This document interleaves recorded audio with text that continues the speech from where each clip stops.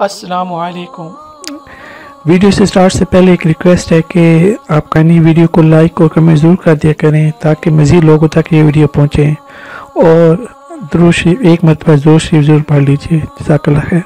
मेरे हुजूर ने तीन चीज़ें कही। अगर कोई शख्स किसी को माफ़ कर देता है तो उसकी इज़्ज़त कम नहीं होगी मैं मोहम्मद अल्लाह की कसम उठाता दूसरी बात मेरे हुजूर ने फरमाई कि जो शख्स मांगने लग जाता है सवाल का दरवाज़ा खोल लेता है अल्लाह उसके लिए मोहताजी का दरवाज़ा खोल देता उसकी कभी कमी पूरी नहीं होती। और तीसरी बात मेरे हुजूर ने कसम करके कही, माँ नकसा मालू अब्द मिन सदा का कहा, मैं अल्लाह की कसम उठा के कहता हूँ कि सदके से माल कम नहीं होता। सदके से माल घटता नहीं है। तो एक तो माल भी नहीं घटेगा। ये जमानत किसकी है? मेरी नहीं है।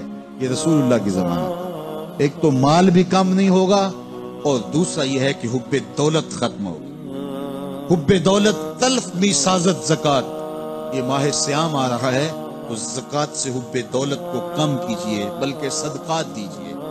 नफली सदकात कीजिए, गुरबा की मदद कीजिए, मसाकिन की मदद कीजिए, अपने गरीब मोहताज रिश्तेदारों पे गौर कीजिए, उनकी मदद कीजिए। अपनी हमसायगी में देखिए, पर्दे से मदद कीजिए, उनकी इज़्ज़त नफ्स भी मजरू ना हो। ये जो नुमाइश लगा के, दस दस अखबारों में चपवा के लोगों की मदद करते हैं, इससे गुरेज कीजिए।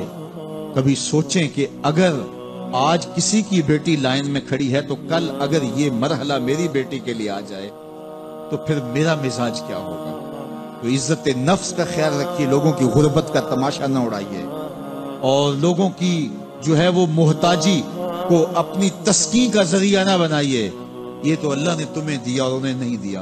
और वो आजमाइश की घड़ी में खड़े हैं, तुम उनके साथ खड़े हो जाओ। तो लोगों की मदद कीजिए, दुखियों के काम आइए, मसाजिद तामीर कीजिए मदार से दुनिया के साथ वाबस्ता रहिए और लोगों की फलाह के लिए, बेहतरी के लिए काम कीजिए। अल्लाह ने आपको दिया है, ये माल यहाँ रह जाना। मेरे हजूर ने फरमाया, इब्ने आदम कहता है, मेरा माल मेरा माल। उसका माल वो है जो उसने खाया या पहना और पुराना कर दिया या आगे भेज दिया। बाकी उसका नहीं है, वो वारसों। का मरते ही विरसा बन जाएगा, मरते ही तरका बन जाएगा। कफन भी मैला नहीं होने देंगे कि बाज औलादे तो बांट लेते।